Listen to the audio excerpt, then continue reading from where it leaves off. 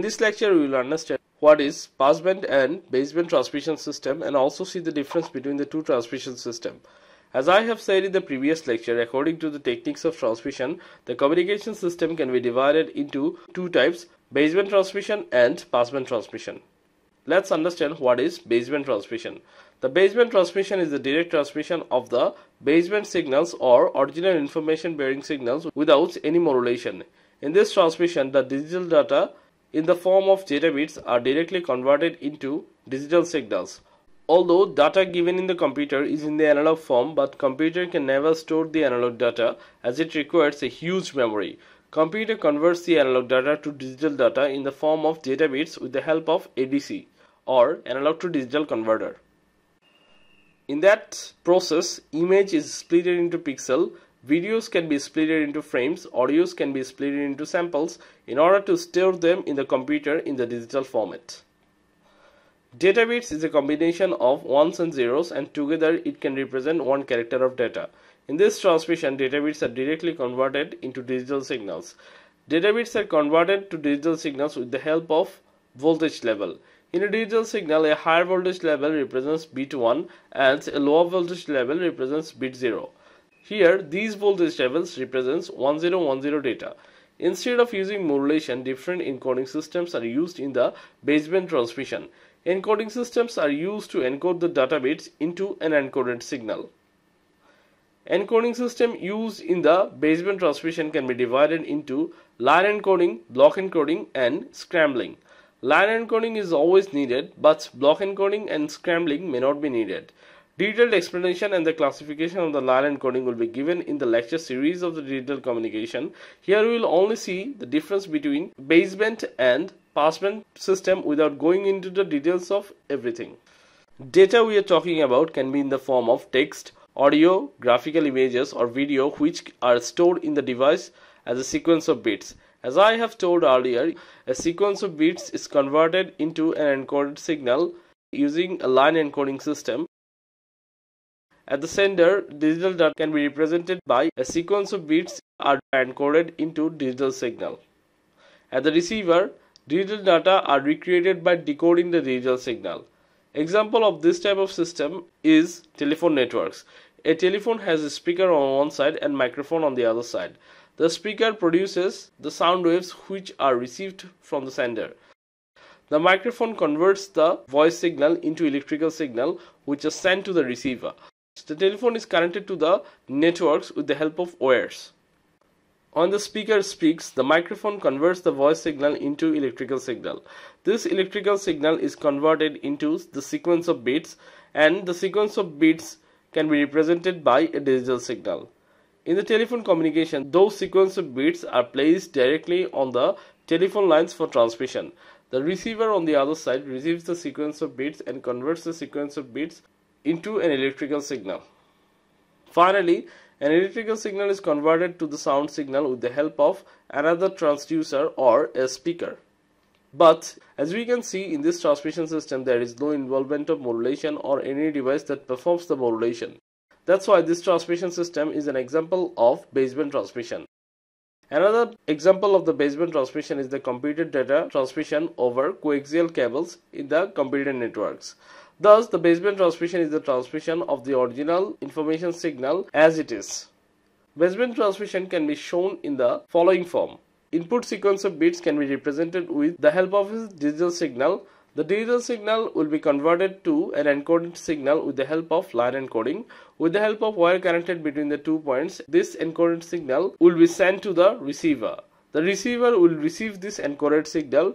Receiver will regenerate the input digital signal with the help of a decoder. Now this regenerated digital signal can be converted into data bits as original sequence of data bits. Let's see the passband transmission. Passband transmission is the transmission of incoming data streams or baseband signal with the help of modulation. In the modulation process, two signals are used, namely modulating signal and the carrier signal. The modulating signal is a data stream or baseband signal which can be represented with the help of either voltage level or binary bits. The carrier signal is a high frequency sinusoidal signal. Most important element of the transmission system is the modulation. The modulation will be discussed at length in the incoming lectures Let us see the definition of the modulation.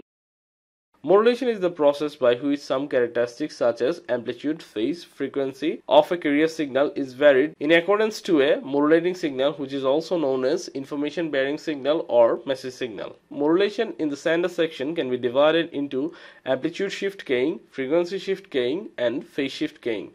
Detailed explanation of these types of modulation will be given in the lecture series of digital communication as I have previously mentioned.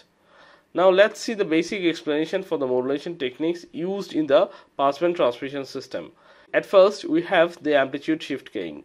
In this type of modulation, the message signal is a sequence of data bits represented as a digital signal and the carrier signal is a high frequency sinusoidal signal. And in the amplitude shift keying, the amplitude of the carrier signal will be varied according to the message signal.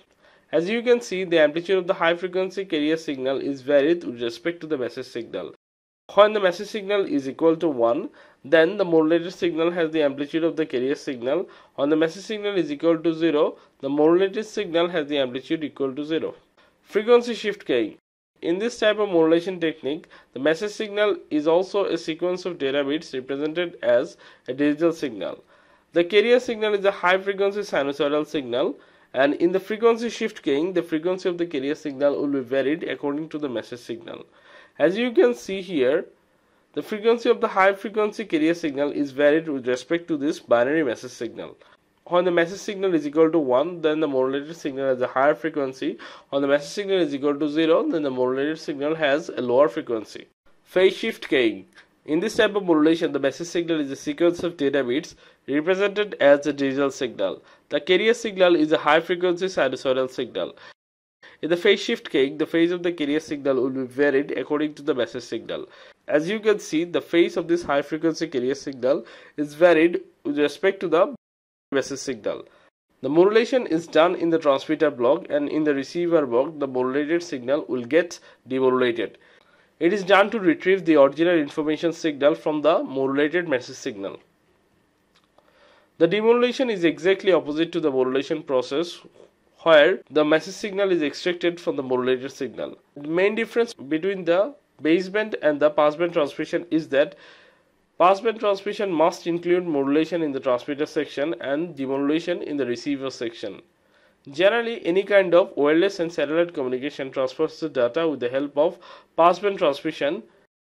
In any kind of wireless transmission, generally the input data or message signal is a sequence of bit after performing source coding and channel encoding, modulation is performed on the input data.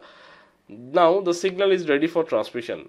The signal is transmitted from the antenna in the transmitter block to the antenna in the receiver block with the help of a wireless channel. After receiving the signal, the received modulated signal gets demodulated. After the demodulation, channel decoding and source decoding, the receiver can use the signal. Now, let's see the difference between these two transmission systems. Difference between the baseband and passband transmission. At first, in the first column we have basis of comparison, in the second column we have baseband transmission system and in the last column we have passband transmission system. Use of modulator and demodulator. Baseband transmission does not use any modulator or demodulator. Passband transmission uses modulator and demodulator. Frequency of transmission. Baseband transmission is the transmission of the encoded signal using its own baseband frequencies. Passband transmission is the transmission of the signals after shifting the baseband frequencies to some higher frequency range using the modulation. Necessity of channel. In the baseband transmission, the baseband signal is transmitted directly without help of any channel. In the passband transmission, modulated signal is transmitted through the channel. Preferable frequency. Baseband transmission is preferable at low frequencies Passband transmission has fixed band of frequencies around the carrier frequency. Preferable distance. Baseband transmission is used for short distance, passband transmission is used for long distance. Noise. Baseband transmission contains a lot of noise because the signal is original. Passband transmission contains less noise because the signal is modulated. Example. Example of the baseband transmission is the general telephone. Example of the passband transmission is the satellite or wireless communication. That's all for this lecture. If you have any doubts regarding this lecture then you may ask it in the comment section and don't forget to hit the subscribe button. See you in the next one.